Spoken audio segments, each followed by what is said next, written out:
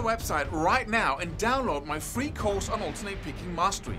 It contains five essential exercises that will take you to alternate picking mastery faster than you can imagine. And then I've included my method of how to lay out a practice plan in just one to two minutes that will absolutely boost your results like nothing you ever tried before. So go download it right now. It's free.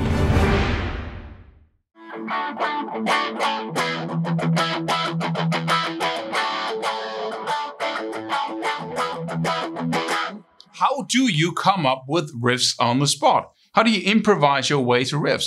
And I can only say one thing, learn rhythm to the highest level. And, you know, any music is uh, 50% rhythm and 50% notes. You could divide it up into that anyway. But the 50% rhythm takes you only 5% of how long it takes you to master everything else. And you can practice rhythm anywhere.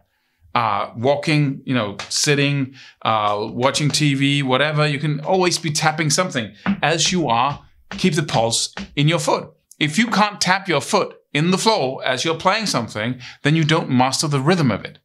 And you need to look into exactly where does that beat fall in relation to the foot. Once you can do that, you know, you can learn a couple of riffs and then you can just change them. And voila, you know, you could take the same note elements, like say,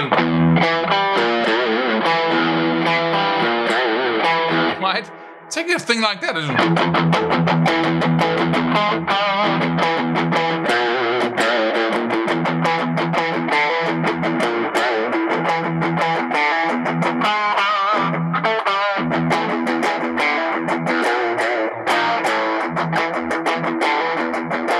Right? It doesn't have to be.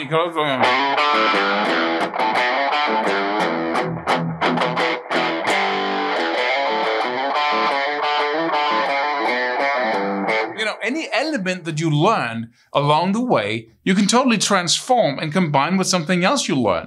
So this is a good chance uh, of learning other people's stuff.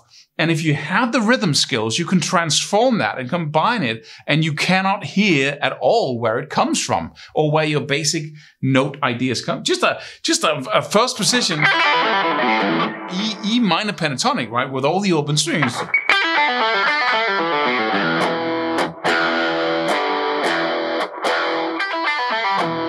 Playing the scale down. Right?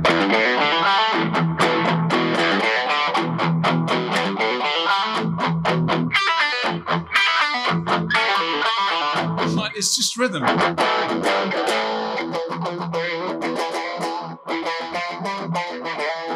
Right?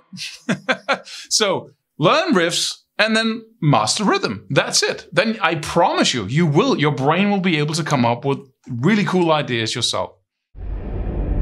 Subscribe for more free videos. Do it. Do it now. Do it.